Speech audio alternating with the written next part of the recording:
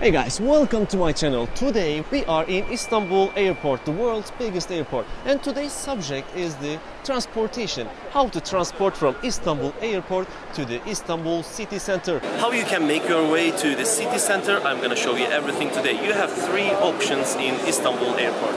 Let's check it out. Right now, we don't have metro here. The city center is around like 40 kilometers. You will go by bus, by Havaist, which is like private buses uh, quite comfortable.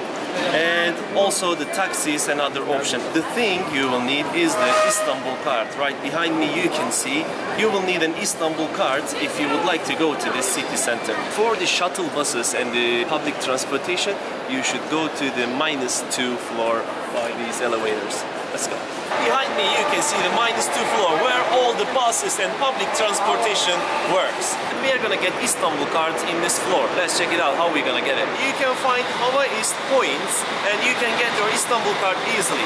Or you can get it by yourself. I will show you how to do it. Let's check it out.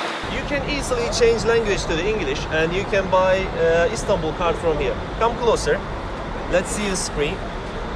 Say language, English, Istanbul card, top up, Istanbul card. We are going to get Istanbul card. You can buy by credit card or cash. So let's say credit card, your credit card here and uh, you will get your Istanbul card for 6 lira. After you get your Istanbul card, you need to top up your Istanbul card. You will easily top up your yapılıyor. uh, Sadece Istanbul card. kağıt para girişi yapınız. You will put the uh, money here and then it's so easy. You're done. How you are going to go to the Istanbul city center? This is the first and the cheapest way to go to the Istanbul city center. This is the public transportation called IETT. There is also an app for that uh, and you can see the app on this side. Uh, you can download this app and you can see the IETT buses where they are moving.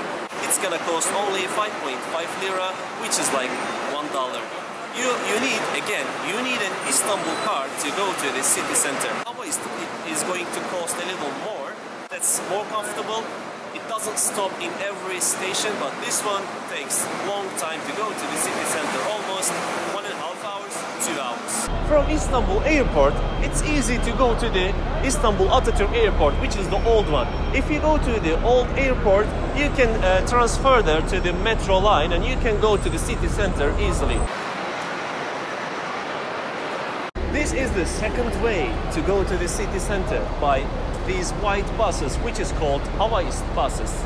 It's really comfortable and faster than the public transportation.